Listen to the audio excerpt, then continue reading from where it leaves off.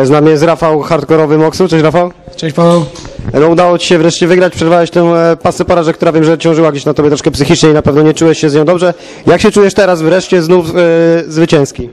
Nie, no super się czuć, co mam powiedzieć. No, no cieszę się, cieszę się bardzo.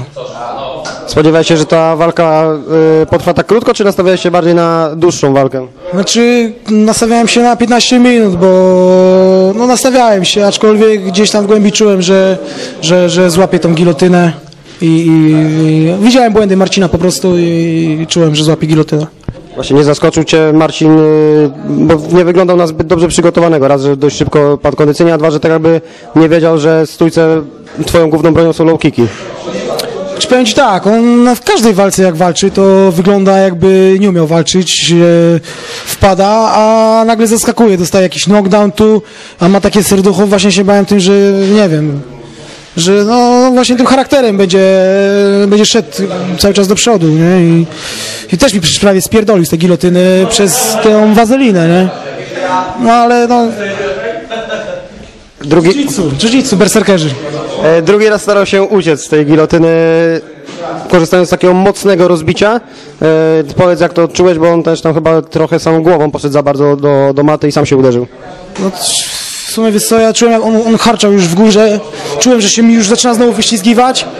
E, też nie, nie, nie skupiałem się tylko na tej gilotynie, że, że muszę go zadusić tą gilotyną i, i ten, ale tym skokiem sam się docisnął. I, znaczy generalnie albo, albo mi się wyśliznął, albo by spłynął, a tym skokiem jeszcze się docisnął. E, Tak ja to odczuwałem. A jak się czułeś e, walcząc w tej kategorii do 80 kg, ten catchweight, e, bo chyba to, to, że nie musiałeś w ogóle robić wagi ci jakoś tam sprzyja.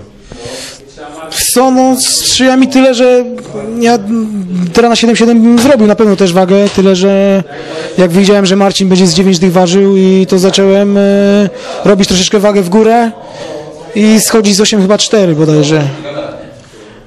Tak też bym na 7-7 zrobił i nie robiłbym wcześniej trochę tej, tej siły, nie? Widziałeś, łapa jest, siła jest, to jest... To może teraz e, rewanż z Borysem. Kurwa. Mam nadzieję, że nie dojdzie. Chciałbym e, w sensie odegrać się na wszystkich, z którymi przegrałem, aczkolwiek na Borysie no, nie, nie bardzo mi zależy. No. Nie chciałbym drugiej takiej samej walki. To może rewanż z e, Aslamkiem Saidowem. E, Nie to, żebym miał coś do Asmana, bo oczywiście też jest moim kolegą, nie tak bliskim jak Borys. E, I oczywiście, no, no bardzo chętnie, wiadomo, no powiedziałem, że chcę pas KSW, więc jeżeli będzie go dzierżył Aswan, to stoczymy ten bój. Ja się trochę martwiłem o twoje przygotowania, bo do, docierały takie e, słuchy ze Szczecina, że nie, nie mogłeś przygotowywać się na 100%, to powiedz, czy miałeś jakieś urazy, z którymi wszedłeś dzisiaj do ringu? Eee, Generalnie co, mam mówić o wszystkim?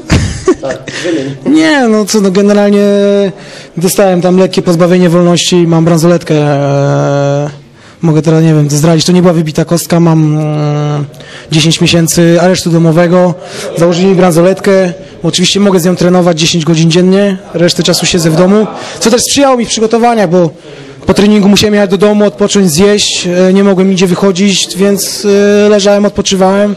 Drugi trening robiłem, aczkolwiek trochę w parterze mi uwierała, bo to wiesz, taki jest zegarek na nodze i, i no, no nie, nie, zrobisz, nie, nie zrobisz z tym wszystkiego, nie? I nie mogłem jechać oczywiście do Andrzeja, do Andrzeja do Poznania nie mogłem jechać, ale Andrzej był tak wyrozumiały, że swoją ekipę przysłał mi do Szczecina. No, czyli widać, że ta w, Pasy było widać przecież, było czy nie? było widać tak, sprowadzenie, e, pierwsza klasa e, na początku walki, a jakieś inne urazy, bo, bo też słyszałem, że takie fizyczne miałeś. Tak, z barkiem się borykam. Tu chodziłem cały czas y, do, do kolegi, do, do fizjo Aleksa na rehabilitację. Kurwa, szczerze powiem, że bardziej psychika, bo nie wiem, czy faktycznie tam nie mam czegoś spieprzonego, już nawet nie chciałem iść do lekarza z tym, bo no, nie chciałem odpuścić w ogóle tej walki. Gdzieś tu coś mam w kolanie też, także miałem kontuzję, teraz chciałbym je zaleczyć. No to w takim razie życzymy Ci przede wszystkim zdrowia, przede, po drugie, żebyś był już e, grzeczny i więcej przygód e, takich nie miał, a po trzecie, żebyś teraz może miał e, po tej pasie porażek taką pasę imponujących zwycięstw. Dziękuję Ci bardzo za wywiad i życzę powodzenia. Dziękuję bardzo. Do zobaczenia.